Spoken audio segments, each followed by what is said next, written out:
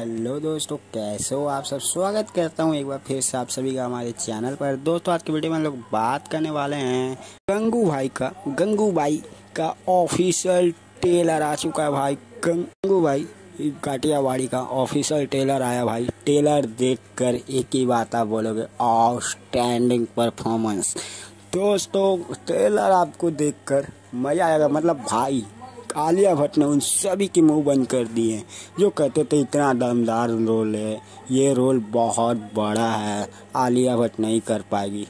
उन सभी को मुँह पर तमाचा दिए, इस टेलर के साथ और मूवी के साथ तो देगी ही देगी। तो दोस्तों, मैं ऐसा क्यों बोल रहा हूँ? भाई, टेलर मैंने देखा, भाई। टेलर आप भी देखो जाकर। पवाल टेलर है। चाहे वो गंगू भाई का करेक्टर में जो बोल रहे थे कि आलिया भट्ट नहीं कर पाएगी, वो उनको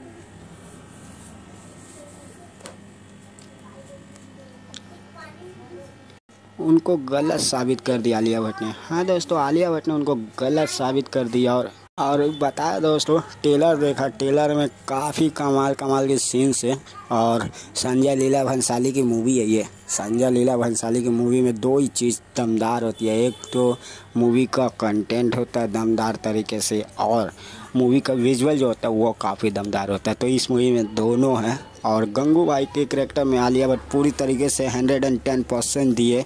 चाहे वो आप एक एक सीन जाकर देखो, वो उनकी चलने का स्टाइल या बोलने का स्टाइल या चेहरे का इंप्रेशन या डायलॉग डिलीवरी पवाल है भाई।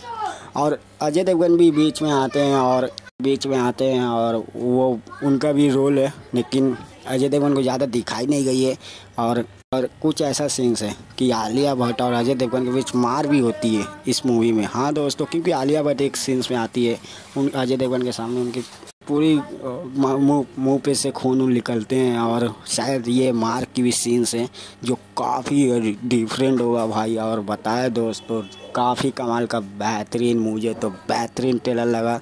मैं इस टेलर को देना चाहूँगा साढ़े चार स्टार आप कितना देना चाहते हो कमेंट में बताओ। आलिया के परफॉर्मेंस दमदार है। इस वजह से मैं इस टेलर को चार चार स्टार देता हूँ। तब तक के लिए भाई पच्चीस पच्चीस फरवरी को ये मूवी नज़दीकी सिनेमा घरों पे आने वाली है आपकी। तो ज़रूर से जाके देखना कोविड का बाद ये इस साल की सबसे बड़ी मूवी है, पहला मूवी होने वाली है। तो आप लोग इस मूवी को कृपया करके सपोर्ट करें और जाकर सिनेमा घरों में ज़रूर से देखें। तब तक के लिए बाय